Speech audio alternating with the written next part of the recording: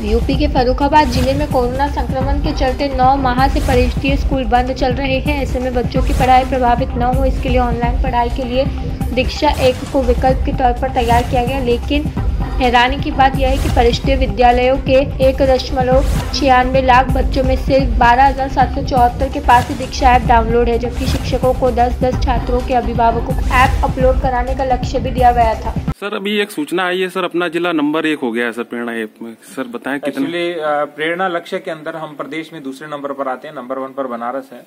लेकिन यदि हम दीक्षा ऐप की बात करें तो दीक्षा ऐप के अंदर हम पूरे प्रदेश में नंबर वन, और हमसे जो सेकंड नंबर पे डिस्ट्रिक्ट है, वो भी हमसे 10 परसेंट नीचे है सीधा।